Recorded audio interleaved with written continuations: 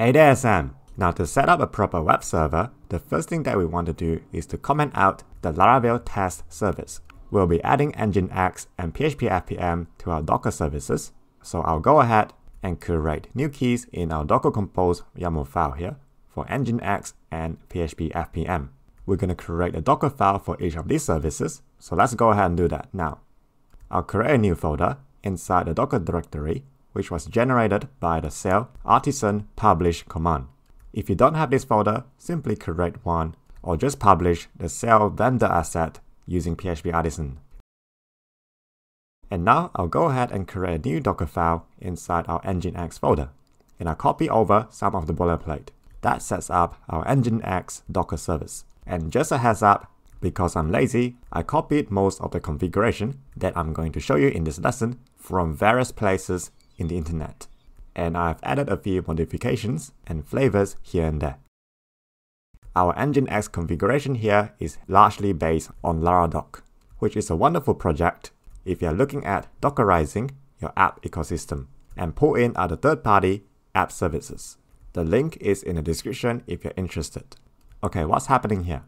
So on the first line, we're simply basing this service on the Nginx Alpine Docker image. Next, we're copying an Nginx configuration file to the Docker image, which I should probably create it now.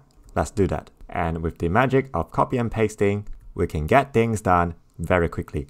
Again, I have shamelessly copied this from Laradocks, and these are just a boilerplate for us to set up our Nginx server. Feel free to customize the configurations if you need. Alright, back to the Docker file. And next, we're adding a few softwares, including logrotate, that will take care of rotating and compressing the logs files, OpenSSL, that will take care of creating a self-signed certificate for HTTPS connections. And lastly, Bash and curl. In the next section, we'll set up a user and user group, and also configuring the log rotate software. And once again, I should copy and paste over the configuration files. The log rotate nginx file is just another configuration file that manages the logs files in our nginx server. Feel free to customize it if you want. And next, we're copying over another shell script called startup.sh, which is the primary way for us to start our Nginx web server. Let's create the shell script now, which is a super simple script that will create our SSL certificate if it doesn't exist, and we'll set up a cron job that will restart our Nginx server every 6 hours. And finally, we'll run our startup script and expose the ports for HTTP connections. Okay, we're not done yet. If we look at our Nginx configuration file, you'll notice a line here that it will try to include the sites configuration files in a folder called sites available. These are the configurations for all the sites that we want our Nginx service to serve. Let's go ahead and do that. I'll create a new folder called sites and copy and paste some boilerplate again.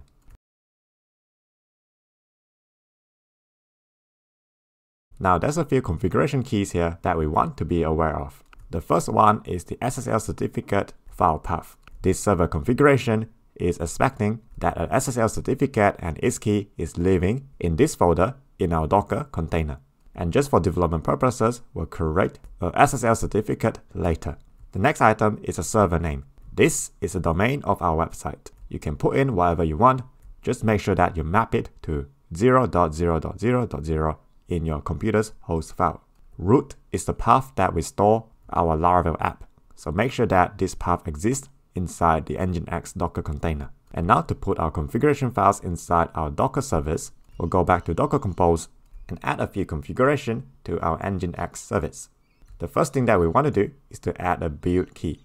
That will point towards the Docker file of our Nginx service. Nginx will depend on our PHP FPM service, so I'll put it down here and we also add it to the sales network group. Next, we'll also add some ports mapping so we can connect to this Docker service from the host. On HTTPS and HTTP connections, we are using environmental variables here, which I'll set the values in our .env files later. And lastly, we'll add in some volumes.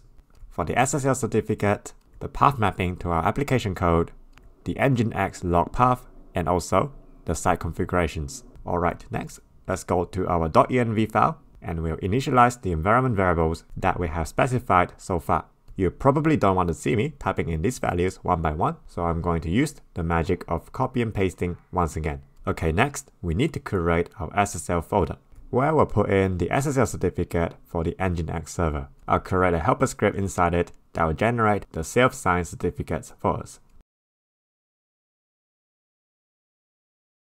Let's run the script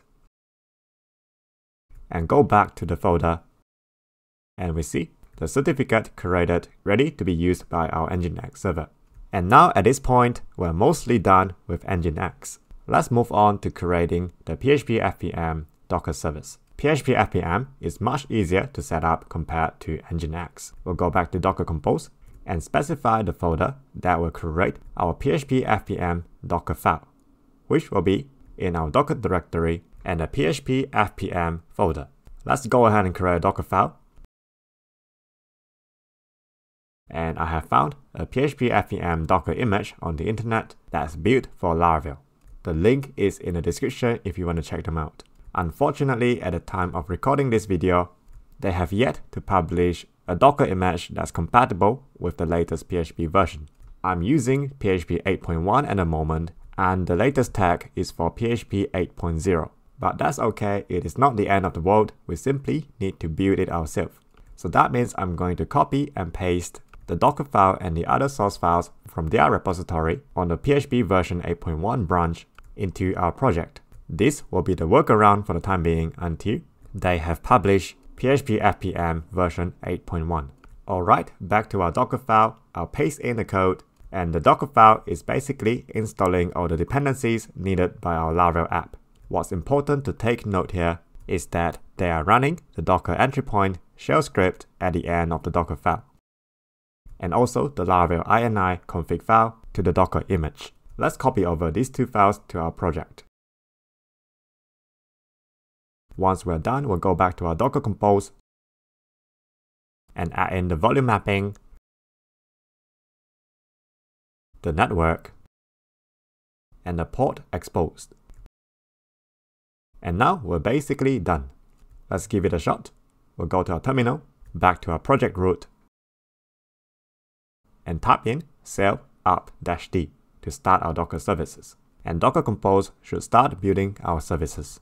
And now if we go to the browser and visit the domain as we specified in the Nginx site configuration files, which in my case will be laravel.dev.local, we should be greeted by the Laravel default welcome page. And that's it. Key takeaways for this lesson. Laravel Sail is a mere wrapper around Docker Compose. We can easily add or remove Docker services thanks to the customizable nature of Laravel Sail. That's it for now and I'll see you again in the next lesson.